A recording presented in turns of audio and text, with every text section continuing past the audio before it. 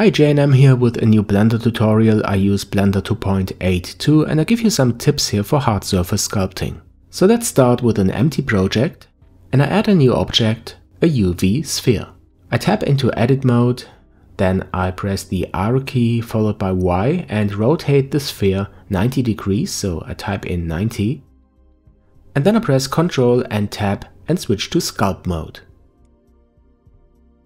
Okay, we can't see all the brushes, so I drag this a bit to the right. And then I select the brush box mask. I have symmetry enabled for the x-axis, so when I mask a part on the left side, it will be masked on the other side as well. I extend it a bit and then I go ahead and select the mesh filter. The brush has several filter types and I want to scale down the part that is not masked, so I select the scale filter type. And then I click into the viewport with the left mouse button and drag to the left. And this means I'm scaling this part down. When I drag to the right instead, I increase the scale. Okay, now I switch to the relax filter option. And this is normally used for other use cases to relax the topology, but I can use this as well to enlarge the part in the middle. I just try out these new features to get a feeling how they work. Okay, you see this is very low poly still, so I go to edit mode and select this edge and press Ctrl and B to add a bevel, just to add a few more segments here. And I know that a mesh like this can be created in a much more simple way, but I wanted to play around with the box mask and the mesh filter also for low poly meshes. Okay, I want the edges to be a bit more crisp, so go to edit mode and select them. Okay, and then I press Ctrl and B to add some bevels. Alright, now I want to turn this into a smooth, high poly mesh, so I switch to object mode and add a subdivision surface modifier. Okay, I think three subdivisions are enough. Then I apply the modifier and go to edit mode and you can see that's a quite dense mesh. But in order to add details, in sculpt mode I have to remesh it to get a higher resolution. For this we use the new remesher. I set a voxel size to 0.006, which is quite high, and press remesh. And look at this, this is real time. It's a pretty fast remesh and we have some small artifacts here at the center of the sphere. But we can use the mesh filter and the smooth filter type to get rid of these artifacts. So I select it and drag to the right and the whole object is smoothed. You can compare it perhaps a bit to the Polish by Features, which is a ZBrush tool, perhaps you know it.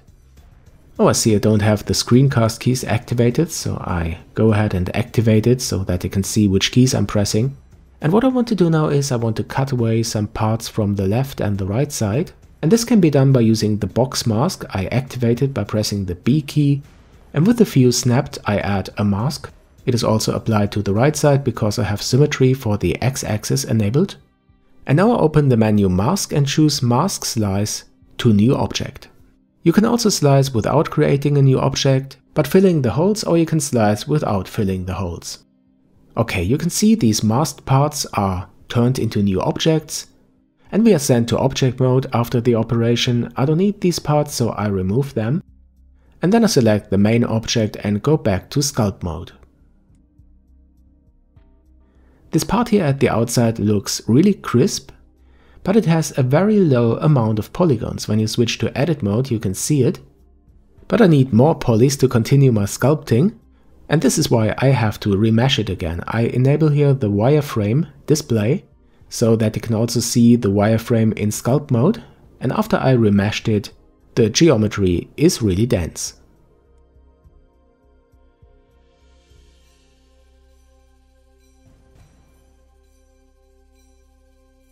Okay, let's continue. What I want to add are some kind of holes at the outsides of the object. For example, six symmetrical holes, so I activate the mask brush, go to symmetry, I keep the mirror for the x-axis enabled, because I want to add the holes on the left and on the right side, and the radial x symmetry are set to 6. Alright, when I paint now the mask onto the mesh it is too blurry, so I press F to decrease the size of the brush like so, and then Shift and F to increase the strength. Okay, and now I can click a few times to add 6 symmetrical circles. Cool, and they are added on the other side as well. I want to move these parts into the mesh, so I press Ctrl and I to invert the mask. I now could use the move tool to move these parts into the mesh, but I like to try the mesh filter and use the inflate filter type. And when I drag to the left, it turns the inflate to a deflate. And this is exactly what I was going for. Okay, Alt and M to get rid of the mask. And it looks nice already, but the parts are a bit edgy. So I do a remesh, but I still want the edges to be a bit more smooth. But I don't want to smooth the whole object. Because I want to keep the other edges as they are, so I select the mask brush again and paint a mask onto the holes that I added, because these are the parts that I want to be smooth. So the same trick, I press Ctrl and I to invert the mask, then select the mesh filter, the filter type I set to smooth and then I drag to the right. And perhaps it's a bit hard to see for you, but the edges look really smooth now. And again I press Alt and M to get rid of the mask, and here you can see we have these holes on the left and the right side. Okay, next part. I want these edges here to be scraped and crisp. To do this I select the scrape brush and you can try now with the symmetry enabled to apply this to the edge, but it is really hard if not impossible to add this with this kind of stroke, so I change the stroke to line. And then I paint a line along the edge still with the radial X symmetry enabled. And this is the result, a scraped, clean edge. Of course you can do this for other brushes as well, for example the crease brush. Here without the line stroke, which can be quite useful in some cases, but for this particular model I use the line stroke.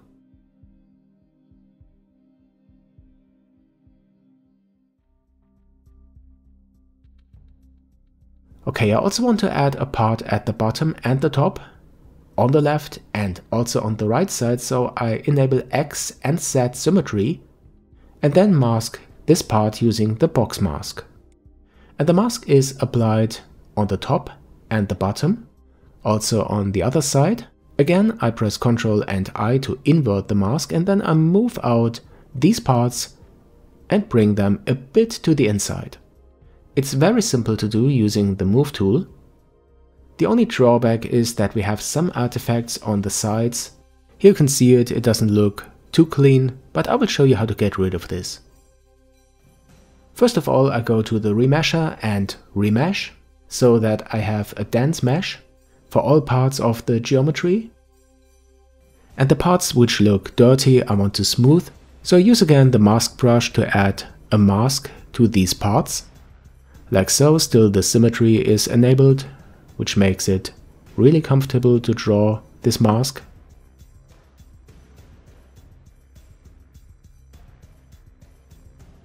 And once I'm finished, I invert the mask again, select the mesh filter, filter type smooth, and drag to the right to smooth. And that looks better. Of course you can go ahead now and manually smooth out some parts, some artifacts, by pressing the Shift key which enables the smooth brush.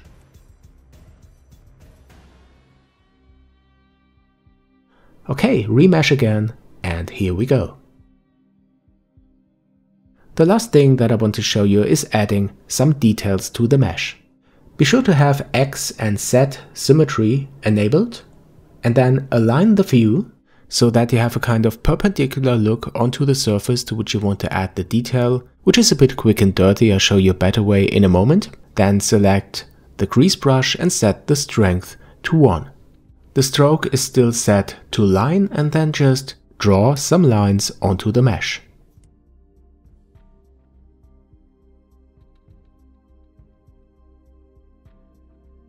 Okay, that's it, pretty simple. The last thing that I want to show you is how to use alphas. I do this using the draw brush. I increase the strength and also the value of the auto smooth. The stroke I change from line to drag dot and then I go to the texture menu and set the mapping to area plane. That's a clean solution if you want to paint in details perpendicular to the surface.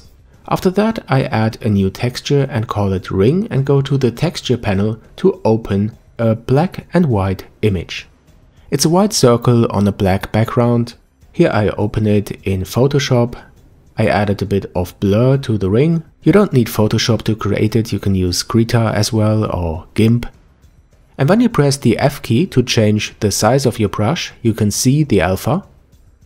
And when I press the left mouse button, I can drag it over the holes because we set the stroke to drag dot. And with this brush you can create now nice looking borders for the holes.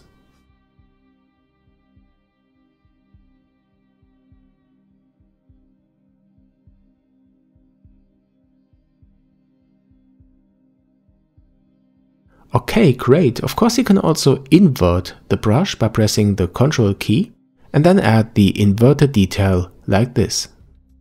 So guys, I hope this tutorial was interesting for you. If it was, then don't forget to subscribe to my channel to Jayanam if you haven't already. And if you have any questions, then add these to the comments. I will try to answer these as best as I can and as soon as possible. Perhaps you would like to be my patron, this would really help.